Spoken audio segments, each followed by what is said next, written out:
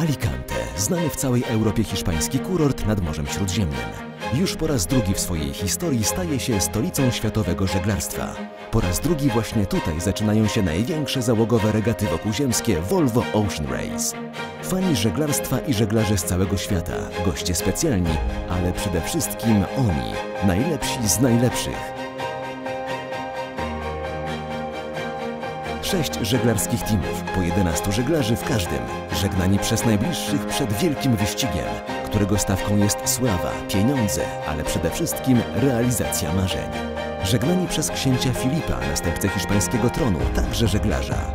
Żegnani przez cały żeglarski świat, który będzie śledził ich losy przez najbliższe 8 miesięcy, aż do mety w irlandzkim Galway.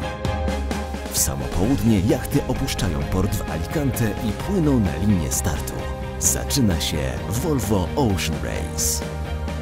Alicante 5 listopada, start do pierwszego oceanicznego wyścigu z Alicante do Cape Town.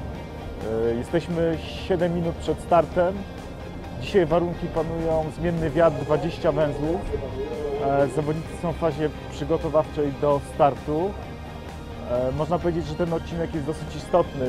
6,5 tysiąca mil morskich. Pierwszy jacht zdobywa 30 punktów.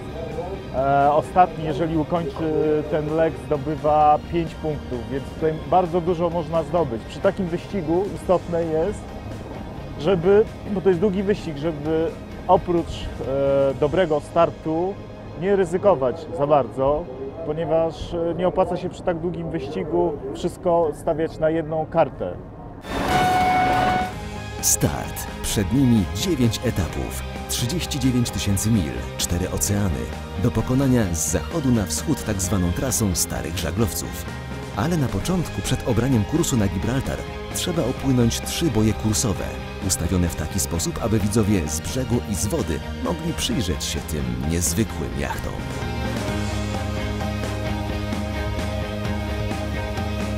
W tej chwili właśnie kamper jest na kolejnym znaku kursowym. Prawdopodobnie zaraz zapali duży genaker.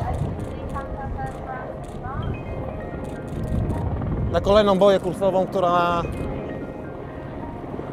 jest trochę bardziej oddalona od teraz od tych pozostałych. Iker Martinez na drugim miejscu. Około 25 metrów Puma Racing.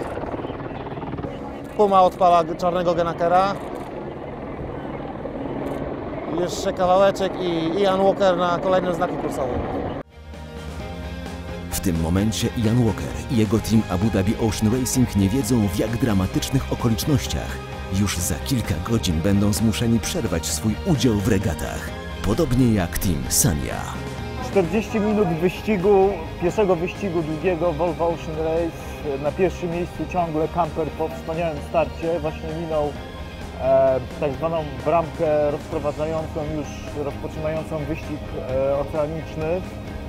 Duża przewaga jak na tak krótką e, trasę tutaj wewnątrz. E, rozpoczyna się teraz ciężka walka zawodników ciężka praca. Można powiedzieć, że wyścig na krawędzi, bo to jest Volvo Ocean Race. Praca 24 godziny na dobę. Zawodnicy płyną do Cape Town. Spodziewane przypłynięcie około 25 dni. I mam nadzieję, że zawodnicy w takim składzie, czyli 6 łódek, ukończy bardzo blisko ten pierwszy wyścig i oczekujemy ich Cape Town.